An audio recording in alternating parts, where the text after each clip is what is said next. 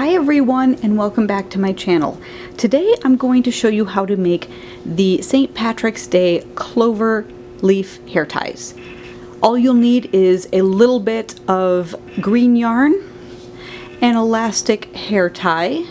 It can be whatever color you have on hand. We're going to cover it with the yarn.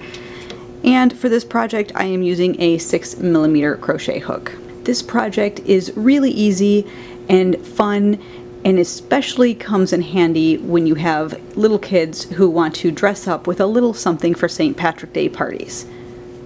You can see we create these little shamrock leaves and if you want to make a four leaf clover here and there you just add another little leaf.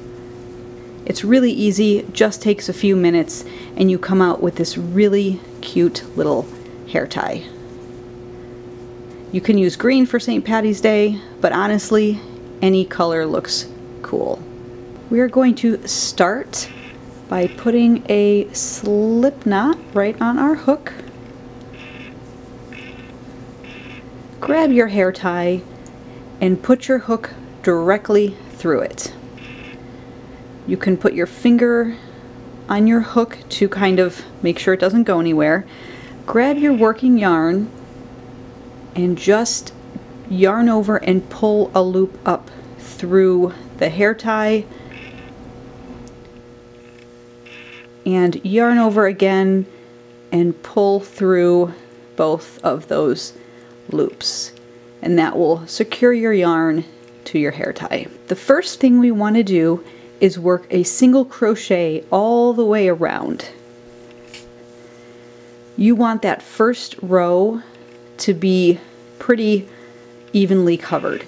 So when you stretch it like this, you don't see much of the actual hair tie. I'm going to go ahead and chain one and then just work single crochets all the way around. You put your hook in from the front, go to the back, yarn over, pull up that loop, and single crochet. And you want to do this until your whole hair tie is covered. And when it stretches out, not much of the hair tie shows. If you don't put enough single crochets around your hair tie, when you go to stretch it, it won't stretch as much as you need to get into your hair. So I'm just going to work single crochets all the way around and then we can start working those cute little shamrock clovers. Once you've gone around and you've kind of pulled your hair tie to make sure that you don't have too much of the elastic showing and where you can still put it around your fingers like that now it is time to work the little clover shamrocks. So you, first of all, you want to make sure that your tail is down here and none of this has gotten twisted around. So you want to make sure that all of your single cro crochet stitches are facing outward. Once you have made sure that they're all facing outward, you can slip stitch to the top of that first single crochet to join that round.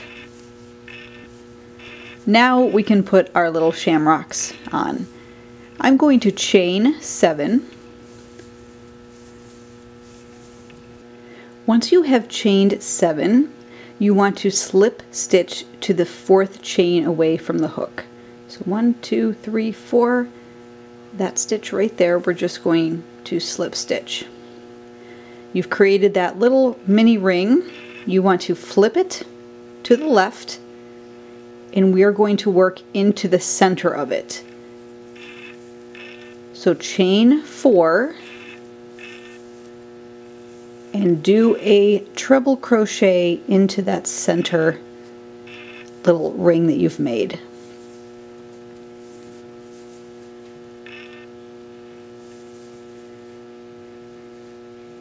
We're going to continue to work into that center. We're going to put a double crochet. and a treble crochet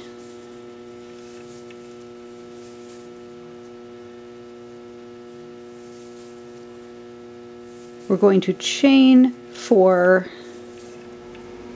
and slip stitch into that space and we have our first little leaf. We want to work two more leaves and if you want a four leaf clover you can go ahead and work three more leaves. But we do them all in the same way. We start with a chain four a treble into that little ring a double crochet into that ring a treble into that ring. Chain four and slip stitch. And that is leaf number two. I'm going to do this one more time. Chain four treble double treble chain four and slip stitch. And now we have three little leaves. If you want another one if you want a four leaf clover go ahead and make another one once you slip stitch into that ring with your last leaf we are going to slip stitch back along the rest of those chains back down to our hair tie. And when you get to the hair tie, I like to slip stitch into that same stitch that we chained out of. And you've got one little leaf, one little shamrock or clover. I'm going to go ahead and separate my little clovers by doing four single crochets in between. So I've done three, going to go ahead and do one more single crochet and do another leaf. Chain seven, and slip stitch back into the fourth chain from the hook.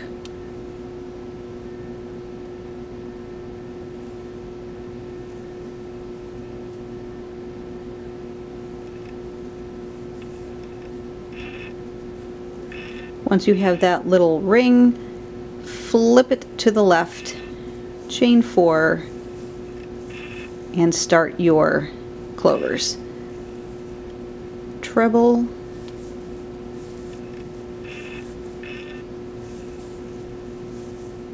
double, treble,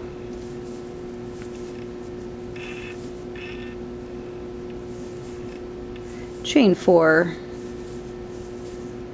and slip stitch all in that same ring. I'm going to do two more leaves, slip stitch back along this chain, single crochet, four in between each leaf, and start another leaf all the way back around. Alright, so I have just worked my last little clover I have this little space left. I'm going to work single crochets back along until I get to that first clover that I did and I'll just find a stitch where I can slip stitch and then I can fasten off. Alright, so you can see that these clovers are a lot bigger than the ones I did here. If you use a bigger hook, so for this one in the tutorial I used a 6 millimeter crochet hook. This one I used a 5 millimeter. Same size weight yarn, just a smaller hook.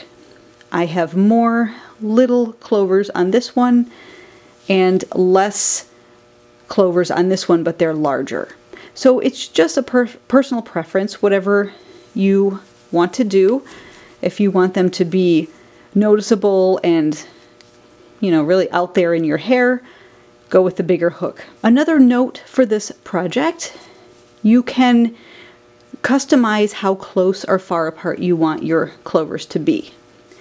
For this tutorial, I just did four single crochets in between each clover. You can choose to do less, so you can do two or three single crochets if you want them to be closer together. If you want them to be further apart, then you would just crochet, single crochet more stitches in between your the start of your little clovers. I hope you enjoyed this tutorial. Please be sure to subscribe to my channel so you don't miss out on any of my upcoming tutorials. Happy St. Patrick's Day and happy crocheting everyone! Bye!